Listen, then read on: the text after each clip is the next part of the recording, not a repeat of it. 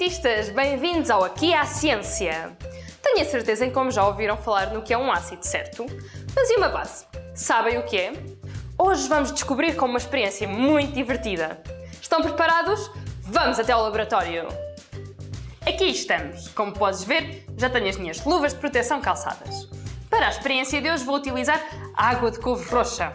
Para obter esta água, basta cozer algumas folhas de couve roxa e aproveitares a água da sua cozedura. Vou então misturar a água de couve roxa com alguns dos materiais que aqui tenho. Para isso, vou utilizar a minha pipeta.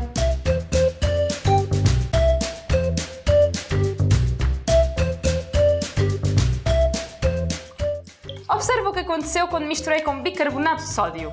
Vês como ficou verde? Vou agora misturar a água de couve roxa com vinagre.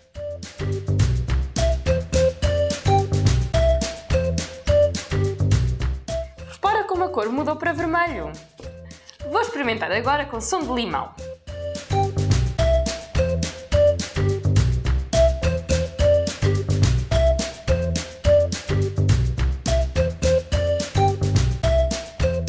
Consegues ver como a cor também mudou para vermelho? Vou ainda misturar com acetona.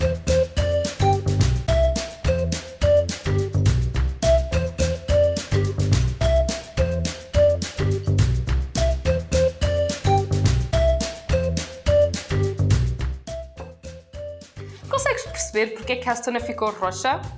E o que é que será que vai acontecer com o detergente da roupa, o nosso ingrediente final?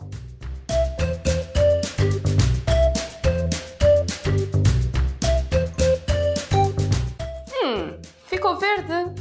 Por que será que voltou a ficar verde? Todas as nossas células são constituídas por átomos. Estes têm uma parte positiva, os prótons, uma parte negativa, os elétrons, e uma parte neutra, os nêutrons. Dizemos que uma substância é um ácido quando tem a capacidade de libertar os seus prótons. Por outro lado, uma base é uma substância que os recebe. Existem ácidos mais fortes que outros e bases mais fortes que outras também. É a medida do pH que nos indica se certa substância é um ácido forte ou fraco, ou uma base forte ou fraca. O pH tem uma escala que varia entre 0 e 14. De 0 a 6,9, a substância é ácida.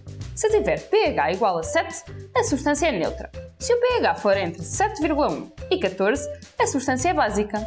Se as cores resultantes forem entre vermelho e amarelo, sabemos que esse material é um ácido, como é o caso do vinagre e do sumo de limão. Se as cores resultantes forem entre verde e azul, sabemos que esse material é uma base, como é o caso do bicarbonato de sódio e do detergente da roupa. A acetona fica roxa porque é uma substância neutra, que não é ácida nem básica, e por isso fica com a cor da água da couve roxa. Podemos ainda dizer que a água da couve roxa é um indicador, uma vez que nos indica o que é um ácido e o que é uma base. Se gostaram desta experiência, revejam agora aquilo que precisam para repetirem em casa.